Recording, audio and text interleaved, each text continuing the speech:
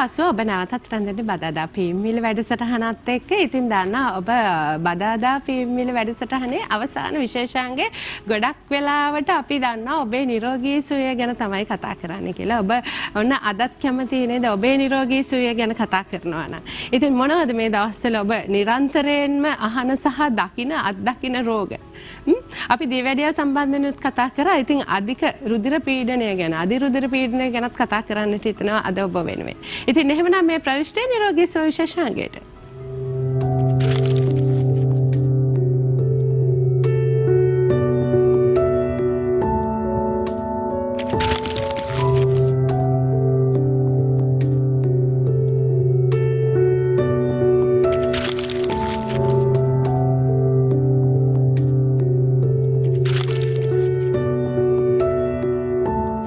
නිරෝගී සුව විශේෂාංගයෙන් ඔබ ගැන කතා කරනකොට ඔබට මතකද පහුගිය සති කීපය තුළම අපි දියවැඩියා රෝගී තත්ත්වය ගැන කතා කරා. දියවැඩියා රෝගයක් ඇති වෙන්නේ ඇයි? කොයි විදිහටද අපි හඳුනගන්නේ? කොයි විදිහටද වෛද්‍ය ප්‍රතිකාර සඳහා යොමු වන්නේ? මෙවැනි රෝගයක් උත්සන්න වුණාම මොකද්ද කරන්නට ඕනි කියන කාරණාව කතා කරා. ඉතින් අද හිතුණා ආදරණීය ඔබ වෙනුවෙන් කතා කරන්නට ඕනි කියලා අධි රුධිර පීඩනය ගැන. අපි සාමාන්‍යයෙන් කියන්නේ ප්‍රෙෂර් වැඩි වෙලා කියලා. දැන් සමහරක් වෙලාවට නොයෙකුත් දේවල් ඇති වුණාම කියනවා මේ ප්‍රෙෂර් වැඩි වුණාද කියලාත් අහනවා. ඉතින් මේ කාරණා බොහොම පැහැදිලිව කතා කරන්නට වෙනද වගේම බොහොම ආදරයෙන් ගෞරවයෙන් අපේ මැදිරියට අපි ආරාධනා කරා කායික රෝග පිළිබඳ විශේෂඥ වෛද්‍ය තුෂාරද සිල්ල වෛද්‍යතුමාට ආයිබෝන් සුබදෑසන කියලා ඔබතුමා පිළිගන්නවා. ආයිබෝන් සුබදෑසන. වෛද්‍යතුමනි මේ අපි සීනි ගැන කතා කරන්නේ සීනි පාලනය කොහොමද කරන්නට ඕනි? දී වැඩිය තත්ත්වයක් තියෙනකොට කොහොමද හඳුනා ගන්නට ඕනි කියලා. ඒත් එක්කම අපි අද කතා කරන්නට ඕනි කියලා හිතන මේ ප්‍රෙෂර් එහෙමත් නැත්නම් අද රුධිර පීඩනය ගැන. මම හිතන්නේ මේ රෝගය ගැන අපි දියවැඩියාවත් එක්ක සම්බන්ධයක් තියෙනවද කියලා මුලින්ම අපි කතා කරමු නේද? දැන් මේ හා සම්බන්ධ දැන් අපි කියන්නේ දියවැඩියාව තියෙන රෝගියෙකුට ප්‍රෙෂර් තියෙන්න පුළුවන් කියලා.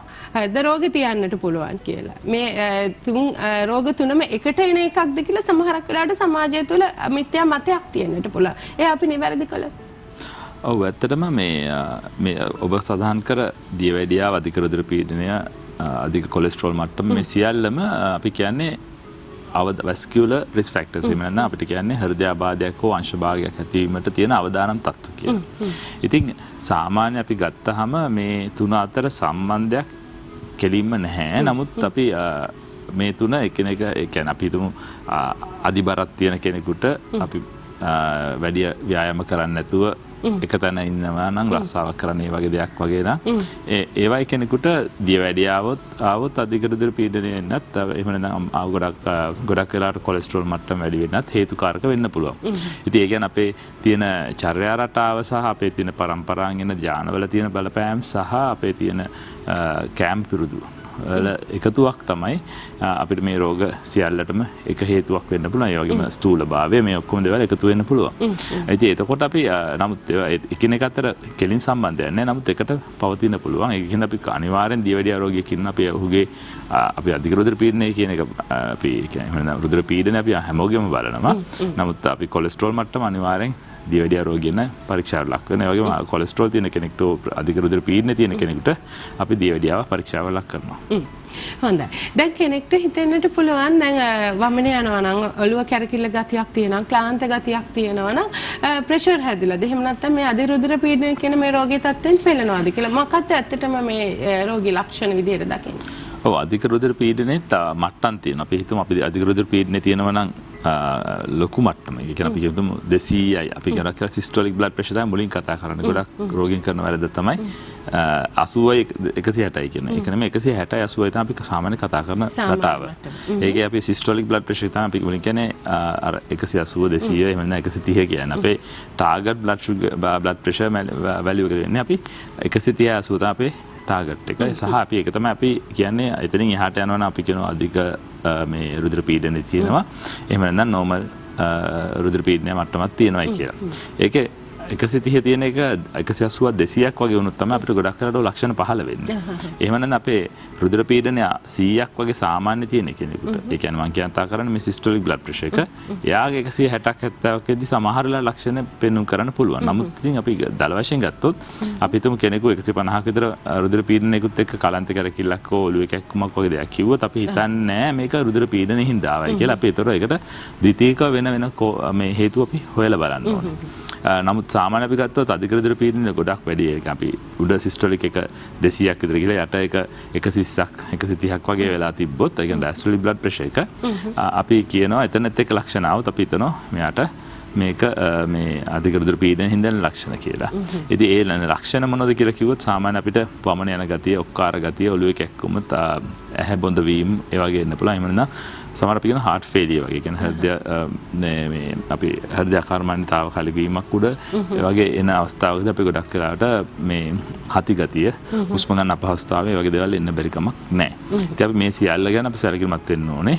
ඉතින් ඒ වගේම අපි ඇයි මේ අධික රුධිර පීඩනය මේ මට්ටමට ආවේ? ඒ සමහරවිට අපි අඳුනාගද්දි මේ දේ වෙන්න පුළුවන්. එහෙම නැත්නම් පාවිච්චි අපි දැන් බෙහෙත් පාවිච්චි කර කර ඉන්න කෙනෙකුට රුධිර පීඩනය වැඩි වීමක් වෙන්න පුළුවන්. ඒකට බහුලව දක්න ලැබෙන්නේ බෙහෙත් නොගෙන සිටීම. ඒක නිසා අපි අමතක කරන නරකයි අබ අපි පළමු අපි අධික රුධිර පීඩනය කියන එක ප්‍රත්‍යක්ෂ කරගන්න ඕනේ. ප්‍රත්‍යක්ෂ කරගත්තට පස්සේ ඒක ජීවිත කාලෙම අපිට බෙහෙත් ගන්න වෙනවා. ඒක අමතක කරන්න බෑ. දියවැඩියාව, අධික රුධිර පීඩනය, කොලෙස්ටරෝල් මේ සියල්ලටම ජීවිත කාලෙම බෙහෙත් ගත යුතුයි. ඒක නිට්ටාරු සුව කිරීමක් නැහැ. අපි නමුත් එක්තරා කොර කැටගරියක් තියෙනවා ඉතා කලාතුරකින් දක්න ලැබෙන ඒක ද්විතීකව තියෙන වෙන රෝ වෙනයම් රෝගයක් නිසා අධික රුධිර පීඩනය එන්න පුළුවන්. ඉතින් අපි තරුණ පරම්පරාවට එන්න පුළුවන් වක්ගඩුවල ප්‍රශ්න තියෙනවා අපි හිතනවා ඒක ග්ලොමෙරුලොනෙෆ්‍රයිටිස් ඒ වගේ කතා කියනවා අපි එහෙම නැත්නම් හෝමෝන පද්ධතිය සම්බන්ධ දේවල් වලදී හින්දා එන්න පුළුවන්. ඒ වගේ අවස්ථාවකදී අපිට ඒකට බෙහෙත් කරොත් අපිට පුළුවන් මේ රුධිර පීඩනය පාලනය කරන්න. එතකොට අපිට සමහරට ඒක නිට්ටාඩු සුවයක් කියලා කියන්න පුළුවන්. නමුත් දල වශයෙන් ගත්තොත් හැමෝටම අපි ලේබල් කරන් පස්සේ ජීවිත කාලෙම බෙහෙත් ගන්න වෙනවා. ඔව්. ඉතින් එහෙමනම් අපිට ගැටලුකාරී තත්ත්වයන් ඇති මේ හා සම්බන්ධව කතා කරන්න. ලෝ බ්ලඩ් ප්‍රෙෂර් තමයි අද අපි කතා බහ කරන්නේ. ඒ වගේම තමයි කොලෙස්ටරෝල් තත්ත්වය ගැන කතා කරනවා. ඒ වගේම තමයි අපි අධික රුධිර පීඩනය, අධි රුධිර පීඩනය, හයි බ්ලඩ් ප්‍රෙෂර් ගැන කතා කරනවා. ඉතින් අපිට තියෙනවා නම් ගැටලුකාරී තත්ත්වයක් මේ සම්බන්ධයෙන් අපිට කතා කරන්න. ඔන්න සජීවීව මැදිරියේ දුරකථන අංකය ඔබට ලබා දෙන්න වෛද්‍යතුමත් එක්ක කතා කරලා ගැටලුකාරී තත්ත්වයන් විසඳා ගන්නට හැකියාව තියෙනවා. 0115 දෙසිය අනු නමයයි දෙසිය අනු නමය බිඳ එක එකයි පහයි දෙසිය අනු නමයයි දෙසිය අනු නමය මේ දුරකථනාංකයට කතා කරන්න මේ සමහරක් වෙලාවට ඔබ මේ රෝගී තත්ත්වෙන් පෙළෙනවා ඇති ඔබට ගැටලුකාරී තත්ත්වයන් ඇති විසඳා ගන්නට. ඉතින් අපි කතා කරේ නෑ මේ ලෝ බ්ලඩ් ප්‍රෙෂර් ගැන. දැන් අපි කතා කරේ අධි රුධිර පීඩනය ගැන. සමහරක් වෙලාවට මේ ප්‍රෙෂර් එක අඩුයි කියලාත් කියන වෛද්‍යවරයෙක් කරා ගියාම මොකද්ද මේ තත්ත්වය? ඔයද අපි රුධිර පීඩනයේ සාමාන්‍ය මට්ටම කියලා මං කිව්ව 130 80 කියන එක. ඉතින් අපි මේක low blood pressure කියලා ගන්න අපි blood pressure එක සාමාන්‍ය අපි 90ට 80ට වඩා අඩු වුණොත් වගේ තමයි. නමුත් අපි සාමාන්‍ය අපේ දල කාන්තාවකගේ එකේ systolic blood pressure එක 90ට 95කට වගේ තියෙන්න පුළුවන්. නමුත් ඉතින් අපි බලන්න ඕනේ ප්‍රශයක අඩු මට්ටමේ තියෙද්දි ලක්ෂණ එනවාද? ඒ කියන්නේ අර කලන්ත කැරකිල්ලක් මත් ගතියක් එහෙම නැත්නම් පණ නැති අපහසුතාවයක් වගේ එනවා නම් ඒකත් එක්ක ප්‍රශයක අඩු නම් එතකොට අපිට හිතන මොකක් හරි දෙයක් මේ රෝගියාගේ ඇඟ ඇතුලේ වෙනවා කියලා. ඒකට හේතුකාරක වෙන්න පුළුවන් ගොඩක් දේවල්. සමහරවල් අපිට හෘදයාබාධයක් වෙන්න පුළුවන්. එහෙම නැත්නම් හෘදය සම්බන්ධ වෙන ප්‍රශ්නයක් වෙන්න පුළුවන්. එහෙම නැත්නම් අපිට හිතන්න වෙනවා අපිට විෂ බීජයක් ගිහිල්ලා නම් ඒකේ විෂ බීජය හින්දා ප්‍රශ්නයක් වෙන්න පුළුවන්. එහෙම නැත්නම් පහුගිය කාලේ අපිට ඩෙන්ගු එහෙම තියෙන කාලේ ඒ වගේ විෂ බීජයකින්ද ඩෙන්ගු ආසාදනය හින්දා අපිට ප්‍රෙෂර් අඩු වෙන්න පුළුවන්. ඉතින් මේ වගේ වෙන යම් රෝගයක් ගැන අපි හිතන්න වෙනවා. ඉතින් ඒ රෝගය ගැන හිතලා ඒකට බෙහෙත් කරාම අපිට මේ රුධිර පීඩන මට්ටම ඉහළට යන්න පුළුවන්. නම් සමහර හැම රෝගියෙම දැනගන්න ඕනේ හැම පුද්ගලයෙක්ම දැනගන්න ඕනේ ඔහුගේ හෝ එයාගේ රුධිර පීඩන මට්ටම මොකක්ද කියන එක. මොකද සමහර ඒක අපි හරිය වැදගත්. මොකද අර පහුගිය කාලවල අපිට ඩෙන්ගු එපිඩෙමික්ස් තියෙන කාලවල අපිට හරිය වැදගත් වුණා ඒගොල්ලන්ගේ නෝමල් බ්ලඩ් ප්‍රෙෂර් එක මොකක්ද කියලා. ඉතින් ඒකෝට අපිට ඒ සාමාන්‍ය රුධිර පීඩන මට්ටම මේ මට්ටමක තිබ්බයි කියලා කියන එක අපිට හරි වැදගත්. එතන ඉඳන් අපි බලන්නේ කොච්චර වැඩි වෙනවද කොච්චර අඩු වෙනවද කියලා. ඉතින් ඒක අපිට හැම කෙනෙම දැනගෙන සිටීම වැදගත්. අපි ලෝ බ්ලඩ් ප්‍රෙෂර් වලට අපි බෙහෙත් කරන්නේ ඒකත් එක්ක සමගාමීව තියෙනවනේ තව මොන හරි ලක්ෂණ අනුව ඒකට අදාළව අපි බෙහෙත් කරනවා. එතකොට අපිට රුධිර පීඩන මට්ටම වැඩි වෙන්න පුළුවන්. සමහරවිට අපි දෙන බෙහෙත් වර්ග අපි අධික රුධිර පීඩන දෙන බෙහෙත් වර්ග වැඩි වුණාමත් සමහර මේ රුධිර පීඩන මට්ටම අඩු වෙන අවස්ථා තියෙනවා. ඉතින් විශේෂයෙන් වයස්ගත පුද්ගලයන්ගේ මොකද ඒගොල්ලන්ගේ සමස්ථිතිය වෙනස්. ඒගොල්ලන් අපි කාලයක් යද්දී ඒවා ටික විඩාවටපත් වෙනවා. ඒ වගේ අපි ස්නායු පද්ධතිවල වෙනස්කම් ඇති වෙන්න පුළුවන්. එතකොට අපිට මේ රුධිර පීඩනයට අපි දෙන බෙහෙත් වලට දරා ගන්න බැරුව සමහරවිට රුධිර පීඩනය අඩු වෙන්න පුළුවන්. ඒ වගේම සමහරෙකු කතා කරනවා වාඩි වෙලා නැගිටිද්දී හෝ ඇඳෙන් නැගිටලා ඇවිදින ඇද්දි කැරකිල්ල ගතියක් එනවා. ඔව් අදතුමනි අපි රංජනී මහත්මියට තියෙන ගැටලුව ගැනත් බලමු. රංජනී මහත්මිය අයිබන් සුබ දැසනක් ඔබට. රංජනී මහත්මිය දුරකථනයේ විසන්දි වෙලා තියෙන්නේ. ඔව් අපි හයි බ්ලඩ් ප්‍රෙෂර් එහෙම නැත්නම් අධිරුධිර පීඩනය සම්බන්ධයෙන් ප්‍රතිකාර ක්‍රම ගැන කතා කරනකොට මේ මිත්‍යා මතයක්ද නැත්නම් ඔබතුමා මේක නිවැරදි කරොත් හොඳයි කියලා හිතනවා වයිද? මේ ලුණු අඩුවෙන් ආහාරයට ගන්න කියලා කියනවනේ. මේකේ සත්‍යතාවයක් තියෙනවද? ඒකේ පැහැදිලි ලෙසම සත්‍යතාවයක් තියෙනවා. මොකද ලුණු ලුණු කියන්නේ අපේ අපේ රුධිර පීඩනයේ මට්ටම පවත්වාගෙන යන්න උදව් කරන මේක ලවණයක්. ඒක අපිට මේ අපේ වක්ගඩුවත් අපේ ඇගේ සමස්තිති අපේ හෝමෝන පද්ධතිය මේ සියල්ලම එකතුව තමයි මේක අපි අවශ්‍ය මට්ටමේ පවත්වාගෙන ඉතින් මෙහෙමයි. අපි ගොඩක් වෙලාට අධික රුධිර පීඩනය කියන කෙනෙකුට අපි ගොඩක් වෙලාට කියන්නේ ඇඩඩ් සෝල්ට් එපා කියන. කියන්නේ අපි ගොඩක් සමහරු පුරුදු වෙලා තියෙනවා කෑම මේසෙදි තව ලුණු ටිකක් කෑමකට එකතු කරගෙන. කන්න. ඉතින් ඒ වගේ දෙයක් වළක්ව ගන්න තමයි අපි ගොඩක් වෙලාට කියන්නේ. නැතුව වළක් අඩුවෙන් කනවා නම් හොඳයි. නමුත් නොකාමින්න කියලා කියන්නේ විශේෂයෙන් අපි නොකාමින්නේ කියලා කියන්නේ වයස්ගත උදවියන්. ඒ කියන්නේ අවුරුදු 70 60 65 70 වගේ වෙනකොට අපි කියන්නේ සාමාන්‍ය මට්ටමින් ලුණු ගන්න කමක් නැහැ කියලා. මොකද හේතුව ඒගොල්ලන්ට මොන හරි රෝගයක් ආවොත් අපි කියනවා ඒගොල්ලන්ගේ ලුණු මට්ටම අඩු වෙනවා. අඩු වුණා කල්පනා ශක්තිය අඩු වෙන්න පුළුවන්. මේ ඒ වගේ ප්‍රශ්න ගොඩකට මුහුණ පාන්න පුළුවන්. සමහර ගොඩක් කෙනෙකුට අපිට බෙහෙත් වර්ග අපි ගොඩක් පාවිච්චි කරන වෙනකොට විශේෂයෙන් වයස්ගත උදවිය. එතකොට අපිට ඒවල බලපෑම උඩත් අපේ ලවණ මට්ටම් අඩු වෙන්න පුළුවන්. එතකොට අපිට රුධිර පීඩනයට අපි ලුණු ගන්න එපා. ඒකම සමහරව ලුණු කන්නේම නැති වෙනවා. එතකොට අපිට ඇගේ තියෙන්න ඕන යම් මට්ටමක් තියෙනවා අපිට ඒකටතර අඩු මට්ටමක එන්න පුළුවන්. ඒතර ඒ වගේ එන ප්‍රවණතාවයත් වැඩි වෙන්න පුළුවන්. ඉතින් ඒ වගේ අවස්ථාවලදී අපිට අපහසුයි අර එල්ලුණු වට්ටම ඉක්මනට ඉහළ නක් ගන්න. ඉතින් ඒක නිසා අපිට ඒ වගේ රෝගීන්ට විශේෂයෙන් වයස්ගත අවස්ථාවේදී අපි ලොකුවට පාලනය කිරීමක් කරන්නේ අපි කියනවා යම් මට්ටම ඒ කියන්නේ සාමාන්‍ය මට්ටමෙන් ගන්න කියලා අමතරව එකතු කරන්න එපයි කියන එක. නමුත් දල වශයෙන් ගත්තොත් ලුණු අඩුවෙන් කනවා නම් හොඳයි රුධිර පීඩනය පාලනය කිරීමේදී. ඒත් එක්කම ආහාර රටාව කොයි විදිහටද මෙවැනි රෝගයකට කොයි වගේ ආහාරද ගන්න සුදුසු වෙන්නේ? ඔව් ආහාර ගත්තාම අපිට ආහාර වර්ග සාමාන්‍ය අපිට අපි දීවැඩිය අධික රුධිර පීඩනය කොලෙස්ටරෝල් මේ සියල්ලටම ගන්න කියන අපි කියන්නේ සම්බර ආහාර වෙලා සෞඛ්‍ය ආහාර වෙලා ගොඩක් මේ අපි කියන්නේ අපි අධික රුධිර පීඩනයට කියලා විශේෂයෙන්ම අපි කියන්නේ මේක ගන්න කියලා. නමුත් අර රෝග සියල්ලටම ගත්තාම අපි ගොඩක් වෙලාට කාබෝහයිඩ්‍රේට් අඩු කොළ වර්ග වැඩි. අපි මේ වෛද්‍යතුමනි පුංචි අවසරයක් දෙන්න කුමුදු මහත්මිය ඇවිල්ලා ඉන්න අපිත් එක්ක දුරකථනයෙන් සම්බන්ධ වෙනවා. කුමුදු මහත්මිය අයිබන් සුබ දැසනක් ඔබට. සුබ දැසනක්. මට ડોක්ටර්ගෙන් දැනගන්න ඕනේ මට ලෝ බෑක් ප්‍රෙෂර් තිබ්බ ડોක්ටර්. ඉතින් මම ඇත්තටම මේ ප්‍රයිවට් ડોක්ටර් කෙනෙක්ගෙන් මම බේස් කරේ. සමහර වෙලාවට මම හෑන්ඩ් බෑග් එකේ පවා ලුණු පැකට් එකක් දාගෙන යනවා. මොකද මට සමහරවිට ඒක ඇඟට දැනෙනවා. ඉතින් ඔක දිගටම මම මේන්ටේන් කරගෙන හිටියේ. මට දැනගන්න පුළුවන් ඒවට බේස් එහෙම දිගටම පාවිච්චි කරන්න තියෙනවද කොහොමද කියලා. ඔව් මෙහෙමයි. අපිට ලක්ෂණත් එක්ක ලෝ බ්ලඩ් ප්‍රෙෂර් එනවනම් අපි ඒකට හේතුව පොඩක් හොයලා බලන්න ඕනේ. මොකද ලක්ෂණ නිතරම එනවනම් අපි හරි හේතුවක් හොයන්න වෙනවනේ. මොකද නැත්නම් අපිට හැමදාම බෙහෙත් බොන්න කියලා අපි මුකුත් බලන්න නැතුව කරන්න බෑ. ඒ නිසා අපි හේතුවක් හොයාගන්න ඕනේ. ඇයි මේ ලෝ බ්ලඩ් ප්‍රෙෂර් කියන්නේ? සමහරවිට අපේ ඇඟේ ලවණ වර්ග අඩු වෙන මේ රෝග වර්ග තියෙනවා. අපි මේ ඉතින් ඒකෙද විශේෂයෙන් අපි අන්තරාසර්ග පද්ධතිය කියන්නේ මෙන්න හෝමෝන පද්ධති සම්බන්ධ රෝගවලදී අපිට ලුණු මට්ටම ඇඟේ අඩු වෙන අවස්ථා තියෙන රෝග වර්ග තියෙනවා. ඉතින් අපි ඒ රෝග වර්ග තියෙනවද නැද්ද කියලා බලන්න වෙනවා. ඉතින් ඒව ටික අපිට හොයලා බලන්න වෙනවා. ඒක නිසා වෛද්‍යවරයෙක් හමු වෙලා අපි ලවණ පරීක්ෂණයක් කරන්න වෙනවා. ඊට පස්සේ එතනින් එහාට අවශ්‍ය වෙන අපි තයිරොයිඩ් පරීක්ෂණ ඒ වගේ එහෙම නැත්නම් ලවණ වල තියෙන අපි කෝටිසෝල් කියලා තියෙන ඒ වගේ දේවල් අපිට හෝමෝන සම්බන්ධිත ආදත් මේ ආශ්‍රිත දේවල් බලන්න ඕනේ. මේ වගේ අපිට හෘදයාබාධ එහෙම තියෙනවද අපිට ඒකේ ඒකින් අපිට හෘදය ගැන පොඩ්ඩක් බලන්න. ඒ කියන්නේ අපිට ඒකෝ කාඩියෝග්‍රෑම් එකක් ECG එකක් වය කරන්න වෙයි. ඒ වගේම අපේ වක්ගඩු ක්‍රියාකාරීත්වය හොඳද අපේ අනිත් අවයව ටික හොඳට වැඩ කරනවද කියලා හොයලා බලන්න ඕනේ.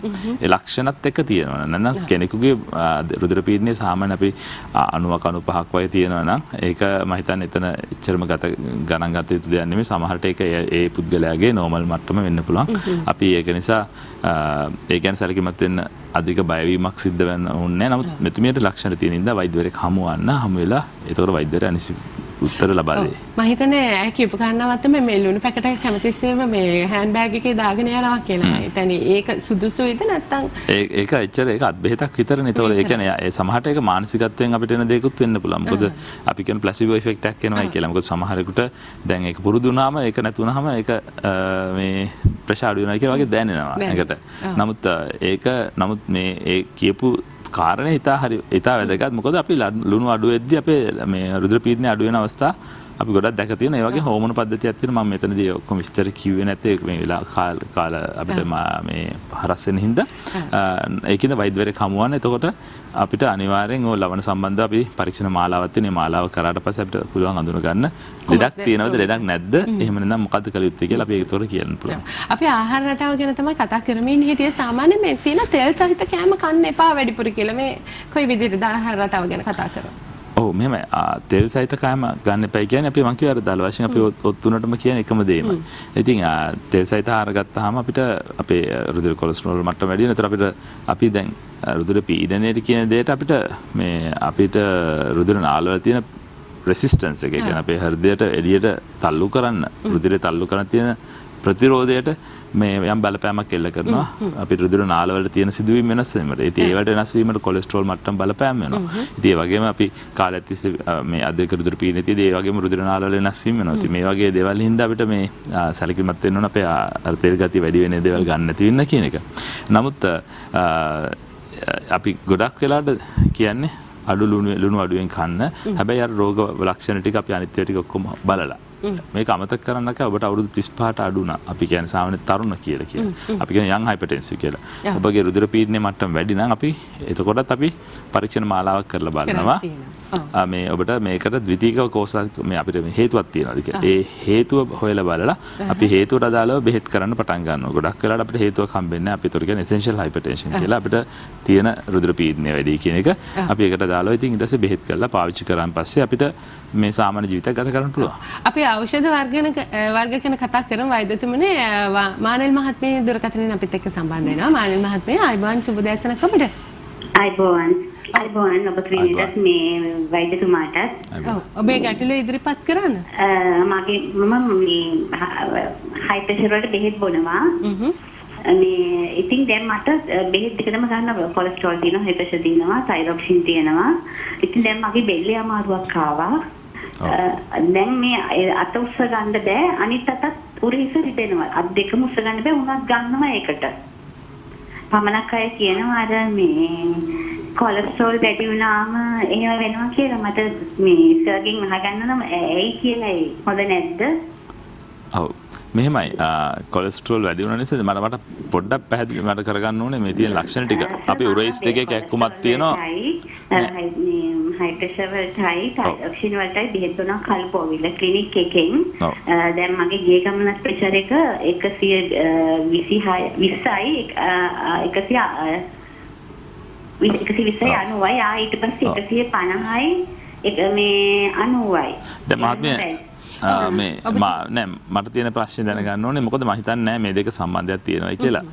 පැහැදිලිසම මේ උරයිසේ කැක්කුමකුත් එක්ක අත් දෙකේ කැක්කුම උරයිසේ කැක්කුම අත් දෙකේ කැක්කුම අත උස්සන්න බැරි ගතියයි බෙල්ලේ කැක්කුමයි තියෙනවයි කියලා කිව්වා. උණ තියෙනවයි කියලා කියලාත් කිව්වා නේද? ඔව් උණක් තේනවා හිටපු ගමන් මේ වේදනාවට සර්.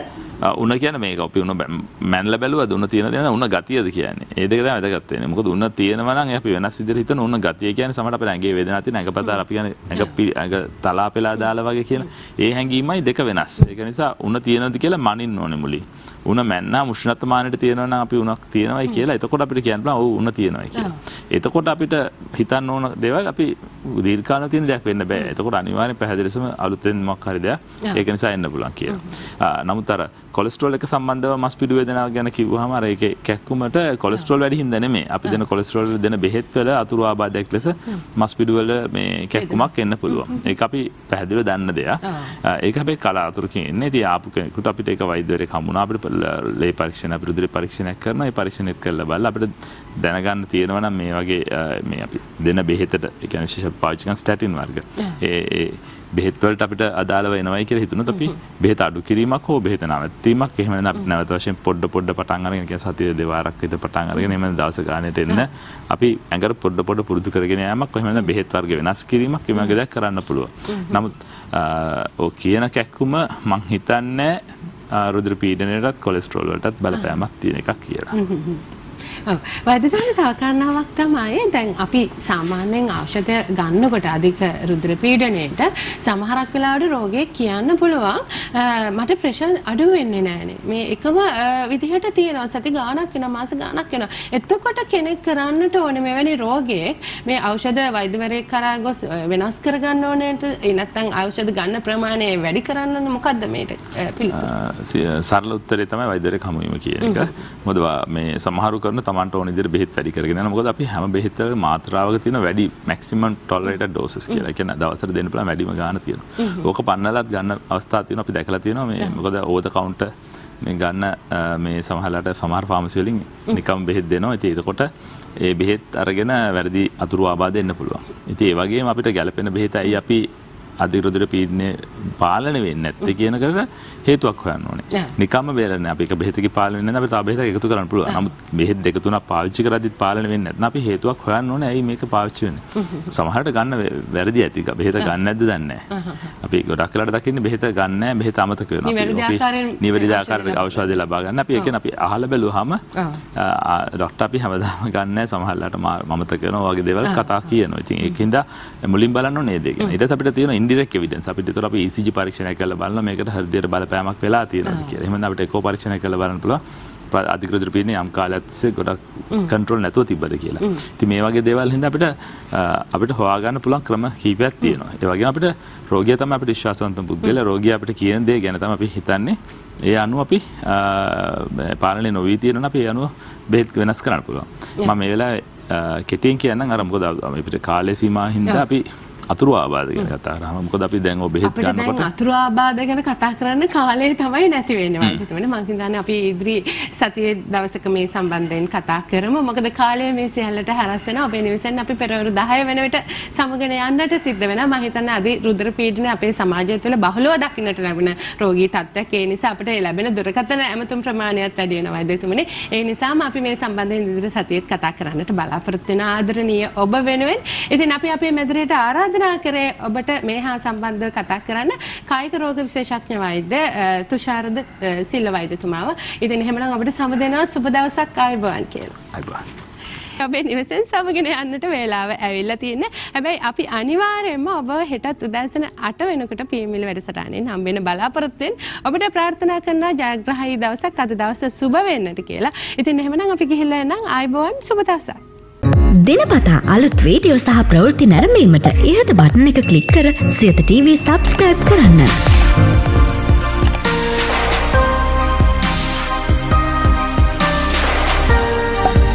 අලුත් වීඩියෝ ගැන මුලින්ම දැනගන්න මෙම සීනුව කලික් කරන්න.